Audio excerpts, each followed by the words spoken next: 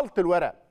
مهندس عدلي أشار من بدري إلى ما قاله الزميل أحمد الخضري في ضيافة الأستاذ محمد شبانة عن ما الاهلي عمل كده وده قول باطل يراد به باطل. هنشوف أحمد الخضري مع شبانة وأقول لكم هو الاهلي عمل إيه بالظبط. أنت إيه رأيك في القصة بتاعت النهارده الشيبي وتحويله للانضباط وحسين الشحات؟ هو هو مين اللي خد القرار الأول النهارده؟ هو الحاج عامر دخل معايا مداخلة الحاج عامر حسين. قال لي إحنا أول ما جالنا مذكرة النادي الأهلي حولناها شؤون قانونية تمام لسه الرد جاي لنا النهارده من شؤون قانونيه؟ أخدنا إشمعنى جاي النهارده؟ بقول لك هم أنا بسأله قال هم هم قعدوا يدرسوا 28 يوم يا فندم يا فندم ما كانش في أنت. قصدك إن أنت قصدك انه قرار متأخر توقيت؟ غريب وقبل بطولة أفريقيا وقبل يعني توقيت غريب أنا ما- مش عارف يعني هو يعني إيه التوقيت ما دلوقتي خد ده؟ بالك في محامين برضه بتشتغل لا- وبتسال لا لا, لا, يعني لا, عادي. لا يعني أنا إيه هو الموضوع دخل برضه في شهادات ما واستدعاءات هو هو ما عرفش يتضرب كويس اللي اتضرب الشيبي يعني هو المفروض كان يتضرب قلمين ثلاثة يعني لا أنا بس ما أنا بسألك انت طب تقول لي رأيك. فسيبني أقول رأيي. أنا شايف إن العقوبة مش مناسبة. الحاج عمال يخش يقول اللائحة مش اللائحة. مفيش حاجة اسمها قلم بماتشين. وواحد يعترض حكم أربع خمس ماتشات. مفيش كده في الدنيا إن واحد يتضرب ويتعمل وهيبطلوا كوره مفيش كده في الدنيا خالص. طيب دي حاجة. إحنا الاعتراض المشكلة في إيه؟ إن هو لجأ للقضاء. مش كده؟ آه. طب ما الزمالك عنده قضية من 13 ل 14 في القضاء العادي. محدش بيقول لهم أنتوا بتعملوا ليه؟ لا ده دي لا أصل ماشي بس كمل. هو بيتحدثوا عن أن كل ما هو في حرم المباراة التي تبدأ بدخول أتوبيسات اللعيبة وتنتهي بالنور هو شأن خاص فقط باتحاد كرة القدم. لا أي حاجة ما- ما, أصلا ترجع للقضاء الإداري القضاء الاي لا قضاء غير القضاء الرياضي. الإداري القانون يصرح ليك باللجوء للقضاء الإداري في حالة إغلاق مركز التسويه ده القائم دلوقتي. آه. ده قائم يعني إحنا ما عندناش مركز تسويه طيب. لكن أنا أقصد بس في دي الحرم بتاع الملعب. يعني الاهلي يعني الأهلي من حقه إن هو كان موضوع عبد الله السعيد يلجأ للقضاء المدني عادي. لجنة الانضباط اللي هي حلها الشيبي مش كويس؟ مش دي اللي هي اللي هي قال لك إيه؟ قال لك لا طيب عقوبة كهرباء تتعطل لغاية ما ي... ما يتم البات لا مش دي. يا فندم استناني بس يا فندم. طب أكمل بس. الاستئناف. يا ما أكمل. قال لك نأجل لغاية ما القضية اللي الأهلي رافعها من أجل المرحوم. المستشار السيد عادل الشرباني يا فندم رئيس لجنة الأهلي رفع. قضية بيشكك في لجنه الانضباط آه، وبتاع معاك. طيب أنا بقول الأهلي اللي رفع قضية رفع قضية فين؟ في القضاء المدني فهو أنت هتيجي قص كل القصة دي إن الشيبي هو اللي طلع غلطان في الآخر ومحدش فاكر إن الراجل حسين الشحات ده كان المفروض سبع ثمان ماتشات وست أشهر وبتاع محدش بيجيب سيرة عجبني قوي اتحاد الكوره. بجد. تعليق. وبيجتمعوا ويمرروا ويقول لك مش عارف يعني الواحد مش لاقي كلمه يقول والله. بصوا يا جماعة حادثة صفع لاعب للاعب ممكن تستاهل إيقاف سنة. وكان قبل كده في لوائح خلت سمير كمونة اللي هو حرب في نهائي كأس مصر الأهلي والمحلة نسب إلى سمير كمونة إنه أشار بصباعه إشارة خادشة. ولم يحدث. ما حصلش منه والكابتن فاروق جعفر كان ساعتها. المدير الفني للمحلة برأه ومع هذا اتحاد الكرة وقتها واللي هو حرب الدهشوري تشددوا وادوا له سنة. وتقريبا قضوا على سمير كمونة وعلاقته وقتها لأنه من بعدها مستواه ما رجعش. ليه؟ لأنه كان في لائحة بتقول كده أو هكذا قالوا وقتها. هنا صفع لاعب للاعب قد يستحق إيقاف سنة. وقد يستحق آه، شطب وقد يستحق عشر ماتشات لكن غير اللائحة. نص على كده في اللائحة. إنما كل البهوات بتوع الأندية اللي بيعترضوا واللي إعلامهم بيتكلم هم ماضيين على اللائحة. قبل بداية الموسم خلاص خلي الممارسة آه، أفرزت إن سلوك زي كده يستحق إيقاف سنة. عدل. اللي يعمله ياخد سنة. عدل اللائحة. بس عدل اللائحة ونص عليها. أما وإن اللائحة موجودة فلا عقوبة إلا بنص. وأنا جبت لك وقعة في الملعب. بالظبط. هنجيبها لهم. ده ما يخص عقوبة ده لأنه ده منصوص عليها. يعني عامر حسين لما الشرباجي الله يرحمه حب يطلب اللائحه بعت له اللائحه وبعت له التقرير. فقال لك خلاص أنتوا بتتكلموا في إيه؟ عايزين تتشددوا غيروا اللائحة.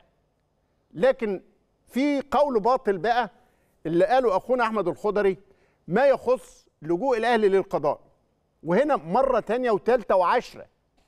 الاهلي راح القضاء مرتين. مرة في أزمة عبد الله السعيد فيما يخص عقد اللاعب مع النادي الأهلي. ما راحش للقضاء لا الإداري ولا المدني. راح للمحكمة الرياضية المصرية مركز التسوية وفض المنازعات الرياضية. اللي بعد كده بكتير المحكمة الدستورية أوقفت العمل بيه وطالبت بوضع لائحة جديدة ليه؟ لخط إجراء بالظبط. لمسألة إجرائية. كان ينبغي أن تختر م- جهة ما هي اللي تعين يعني إنه إنه مركز التسوية المفروض اللائحة بتاعته تعتمد من جهة الاختصاص، جهة الاختصاص هنا لجنة الفتوى والتشريع في مجلس النواب، يعني قالت المحكمة الدستورية للحكومة قدم مشروع للمجلس النواب بلائحة مركز التسوية والتحكيم الرياضي ناقص. علشان تعتمد. مش طعن في الموضوع. لكن اللجنة الأولمبية مش هي اللي تحط لائحة هذا المركز. اذا لغاية لما توقف مركز التسوية كان الأهلي لجأ له وده حق قانوني طبيعي صحيح. بالعكس الفيفا بيقول لك روح للمحكمة ديت. أنت عشان تستكمل ال- التشريع ال- مؤسسة التشريع الرياضي بتاعك لازم يبقى عندك مركز هو ده تسويه المسار. أنت رحت في المسار الصح. ما خرجتوش وما وخدت غيرتش. الحكم منه. وخدت الحكم منه. النقطة الثانية لائحة النظام الأساسي بتاعت اتحاد الكرة اللي اعتمدها الفيفا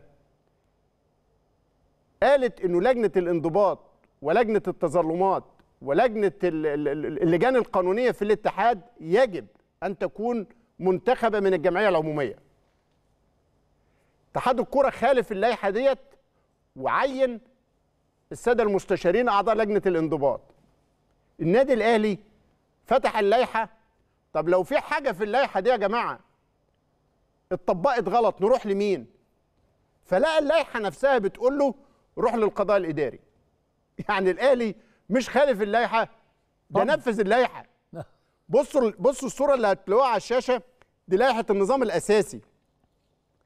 قالت في جهات القضاء يعني لما هتلجأ لجهات القضاء جهات القضاء العادي والإداري التي تختص يا ريت نشوف بس ال- ال- اللائحة. جهات القضاء العادي والإداري التي تختص بنظر المنازعات القضائية وفق اختصاصاتها. دي دي المادة 28 بتاعة اتحاد الكورة اللي بتحظر اللجوء للقضاء. 38 38 اللي بتحظر اللجوء للقضاء وبتقول إنه بيحظر على أي لا يجوز للأندية والمسؤولين وعناصر اللعبة اللجوء لأي من المحاكم القضائية والإدارية لحل نزاع رياضي يتعلق بكرة القدم. يعني اللي ضربوا بعض في الملعب دول ده نزاع يتعلق بكرة القدم. ما كانوش بيتخانقوا على شقه بيشتروها. ده دي دي اللي بتحظر اللجوء للقضاء لكنه لائحه النظام الأساسي بقى. البند اللي بعديه مهم جدا يا أستاذ إبراهيم آه. يختص المجلس دون غيره بتفسير أي من مواد هذه ال- اللائحة. آه، هو اللي يفسر آه. في حالة الخلاف على تفسيرها.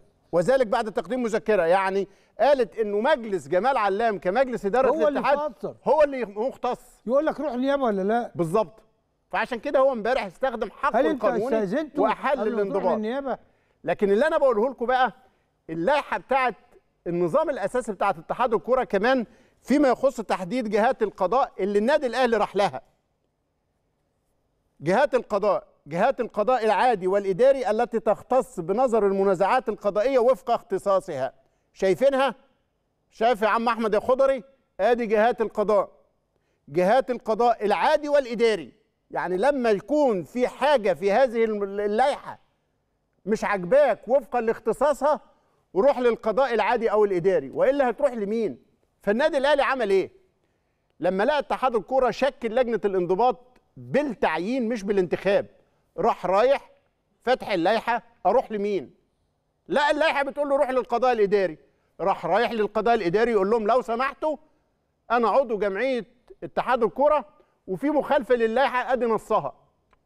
في الوقت ده اتحاد الكورة أستاذ جمال علام اتصل بالكابتن محمود الخطيب والسيد الوزير اتصل بالكابتن محمود الخطيب وطلبوا النادي الأهلي يسحب شكواه. وقالوا إنه في أقرب جمعية عمومية اتحاد الكره هيعرض على الجمعية العمومية التشكيل الجديد للجنة الانضباط واللجان. القانونية عشان يصوب هذا الخطأ. سحب الأهلي شكواه بناء على هذا التدخل ووعد بالتصحيح. ادي سبب لجوء الاهلي في الواقعتين. أديتك من الشعر بيت؟ آه. اللجنة الاولمبيه الدولية عملت هيئة تحكيم. لجأ كما ينص الدستور وكما تنص ال- اللوائح بتاعت الاتحاد الدولي. أيوه. واللي بتقول لك روح لها. أيوه. دون غيرها. أيوه. فأنت رحت. هي اتحلت ليه؟ مم. اتحلت ليه؟ واتحلت بمين؟ مين اللي خد القرار الحل؟ مم. مين؟ القضاء العادي أيوه. الإداري. آه. ليه؟ لأن في خطأ في الإجراءات. نفس الشيء لما الاهلي احتج على تكوين لجنة آه، التظلمات. أيوه. إنك أنت شكلت بالخطأ من لجنه المفروض المنتخبة عينتها. فأنت رحت للجهة الإدارية ها؟ مين اللي هيقول إن اللجنة دي صح ولا غلط؟ ده على غرار اللجنة الأولمبية. طالما إن في خطأ في الإجراءات كان ينتظر أن يصدر قرار بعدم آه، قانونية هذه اللجنة. أيوة. ولكن حرصا على مصلحة الكرة المصرية وبناء على رغبة من المسؤولين الرياضيين الكبار في مصر وبوعد إنه سيتم التصحيح. وفي أقرب جمعية عمومية بانتخاب لجنة منتخبة. اسحبوا ش- آه، آه، شكوتكم وقضيتكم وإحنا هنصلح الموضوع. واستجاب الأهلي. هذا ما هو يحدث الآن؟ انت خرجت عن النص ورحت لل... للنيابة. للنيابة لسه مش على فكرة مفيش قضية لسه. آه النيابة جاية التحقيق. يعني النيابة قد يا- تحفظ وقد تبرر وقد تحيل. وقد- قد تحيل. آه. وقد تكتفي مثلا بقرار. آه. إنما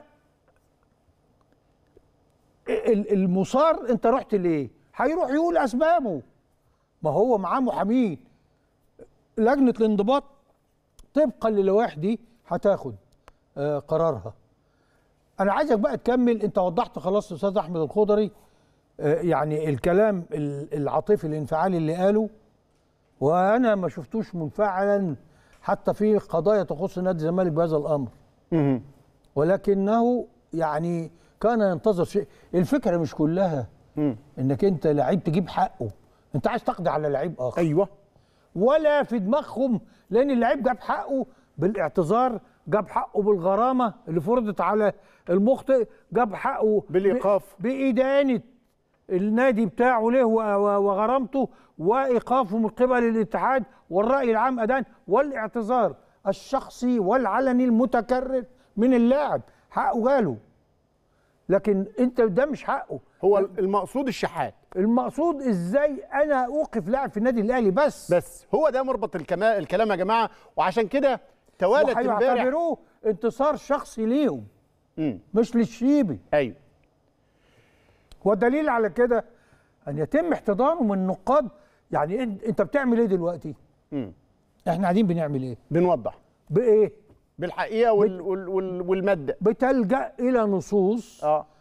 لائحية وقانونية و... وتوصلها إلى نص دستوري. أيوه مش بتتكلم بوجهة نظرك. ارتجالي آه. كل اللي اتكلموا دول وجهة نظر. يعني هتجد إن الأستاذ هاني حتحوت إذا كان ما قرأته. هنطلع لفاصل. بعد الفاصل هتشوف كلام هاني حتحوت وكلام إبراهيم عبد